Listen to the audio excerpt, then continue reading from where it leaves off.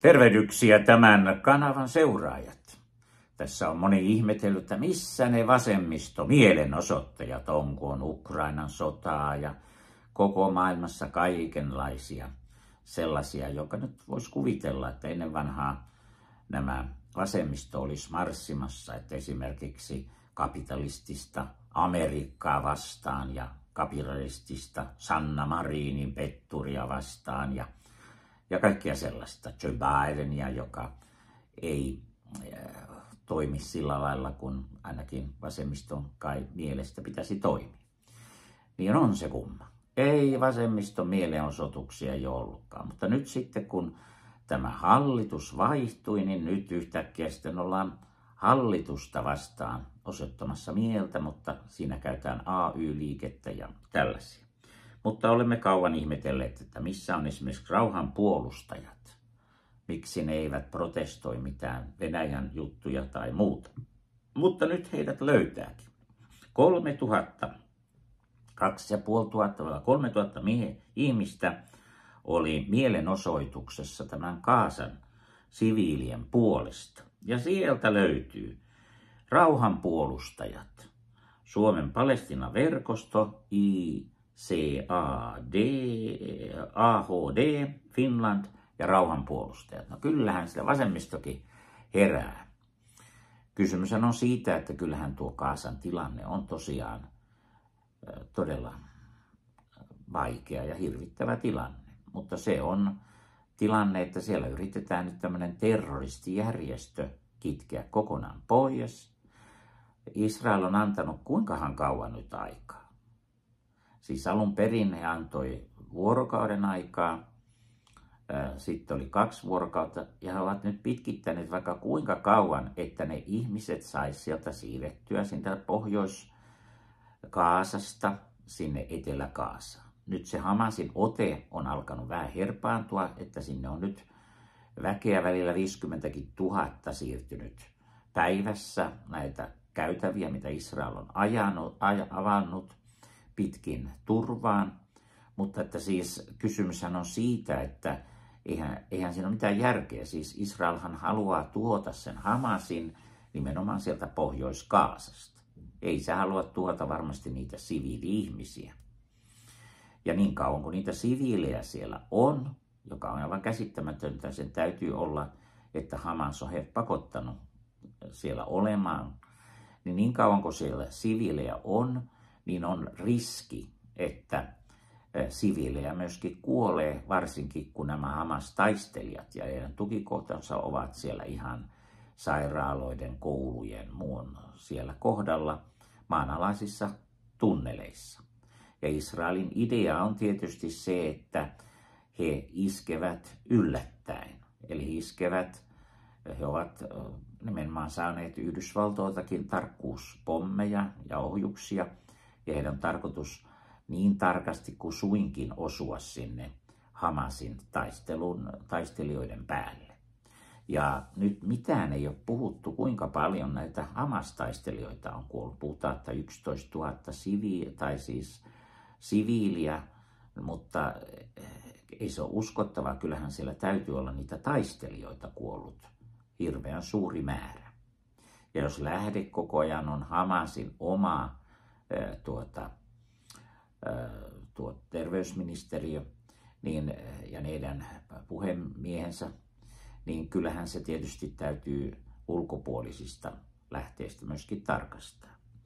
Ja kaikkein tärkeintähän olisi, että tämä operaatio pystyttäisiin tekemään tehokkaasti, mutta että se päättyisi mahdollisimman nopeasti.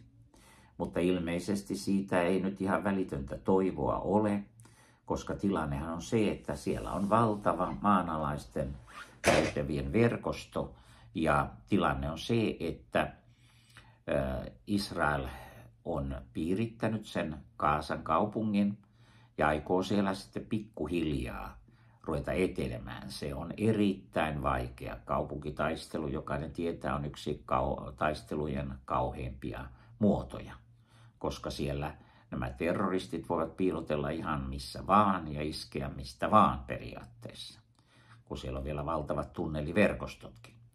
jotenka se ei ole mikään helppo tehtävä Israelille. Ja näyttää nyt siltä, että ei ainakaan toistaiseksi nämä arabivaltiot vähän niin kuin protestoi, mutta toisaalta he tuntuvat, monet hyväksyvät, hyväksyvän sen, että se Hamas saataisiin eliminoitua. Ja Yhdysvaltain nyt Blinkenin suulla kuultu idea olisi se, valita näistä Israelin eri vaihtoehdoista se, että kun että Hamas tuhotaan niin perusteellisesti kuin suinkin, ja sen tilalle tulee, mikä sen alun perin oli Fatah, joka muutamalla prosentilla aikanaan hävisi ne vaalit, ja sen jälkeen Fatahin taistelijat Hamasin, Hamas eliminoi. Siis Fatah ei ole tämmöinen uskonnollinen järjestö ollenkaan, se on maallinen, vasemmisto, mielinen järjestö, järjestö, joka on vastakohta tavallaan tämmöisille uskonnollisille, jota Hamas taas oli uskonnollinen. Hamas tavoittelee ihan islamin maailmanvaltaa ja Hamas on asettanut tavoitteeksi, niin kuin nämä jihad ja muutkin järjestöt, Israelin eliminoimisen ja juutalaisten ajamisen pois sieltä alueelta. Kun taas Fatah hyväksyy Israelin olemassaolon, mutta siis kysymys siis siitä, monet ei ymmärrä, että tässä on kysymys siis siitä, että ne neuvottelut jäivät aikanaan kesken. Eli toisin sanoen jäi siitä, että jos tulisi tämmöinen kahden valtion malli esimerkiksi, joka on vaikea kuvitella, miten se oikeasti toteutuisi, koska nämä on niin lähellä nämä palestinalaisalueet Israelin ydinalueita, että minkälaista turvallisuutta siinä sitten on, kun nytkin näemme, miten nämä Hamasin taistelijat pääsivät tunkeutumaan Israelin alueelle. Mutta ajatelkaa, jos Israel ei voisi kontrolloida enää ei länsirantaa, ei Kaasaa, ei mitään, niin kyllä se aika piinaava olisi Israelille. Ja sitten toiseksi ne rajat. Nyt kun te katsotte sieltä Haifan kohdalta, sieltä sanotaan Tel Avivin pohjoispuolelta, niin se raja tähän ne palestinalaisalueelle, niin sehän on, se on ihan kapea. Se on täysin todella vaikea puolustaa mitenkään, jos tämä palestinaisvaltio olisi itsenäinen ja nämä rajat pidettäisiin. Silloin se, jos tämmöinen kahden valtion malli, niin se pitäisi tehdä niin, että ne rajat siirrettäisiin jonnekin kauas Israelista, jonnekin Jordanian puolelle. Eli sitähän on puhuttu, että nämä palestinaiset siirtyisivät Jordanian alueelle. No Jordania ei heitä halua, että Egyptin alue, no Egyptikään ei heitä halua tekemään vallankaappausta tai kumousta. Eli kysymys olisi siitä, että joku alue, yksi vaihtoehto oli, että he saisivat vähän Egyptiä, vähän Jordanin aluetta, mutta olisivat mahdollisimman kaukana Israelin nykyistä ja siihen tulisi semmoinen iso puskurivyöhyke, jolla sitten valvottaisiin. Mutta kaikki tämä on vaikeata. Ja Donald Trumpin ideahan kai olisi se, että nämä arabivaltiot takaisivat sen, että nämä äärijärjestöt ei saisi valtaa ja vastineeksi ruvettaisiin tekemään bisnestä näiden palestiinalaisten, Israelin ja arabivaltioiden välillä ja nostettaisiin arabien ja palestinalaisten elintasoa, jonka jälkeen nämä äärijärjestöt menettäisivät sen valtansa ja siihen sitten soviteltaisiin semmoinen rauhallisempi kuvio. No, aika näyttää, voiko se tapahtua ja ensin on Yhdysvaltalissa oltava nämä presidentin vaalit. Mutta kyllä se tosiaan oli Andersonkin heräsi tähän palestiinalaisongelmaan.